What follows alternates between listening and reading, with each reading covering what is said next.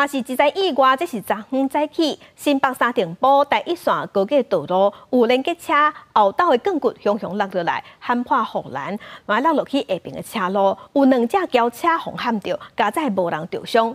警方初步调查，驾驶并无食酒，也毋过车顶载的这钢骨有万外公斤，而且佫绑无好势，即马会依法来开罚单，嘛要依照违反公共危险罪嫌上班。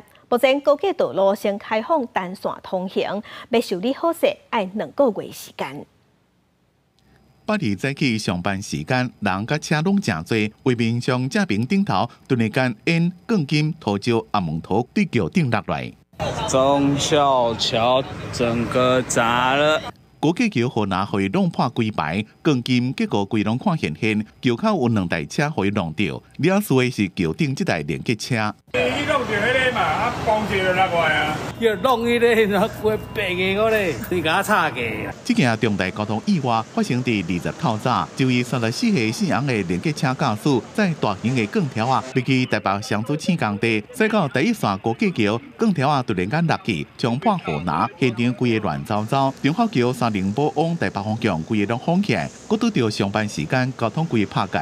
本案将依《道路交通管理处罚条例》第二十九条之二及三十条规定举发外，肇事驾驶也将依刑法公共危险罪移送。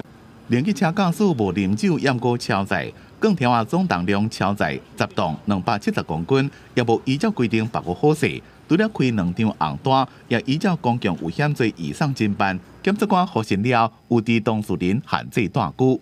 桥面板受损，还有一些附属结构受损哦。那主要的结构目前看起来是没有受到损失哦。那目前我们初估大概整个修复的时间是两个月。对业者要追究责任以外，同时也要业者负起赔偿的责任。新北市干部局表示，目前已经开放高架桥单线通行，苹果若是要全部拢恢复，也怪两个月。记者综合报道。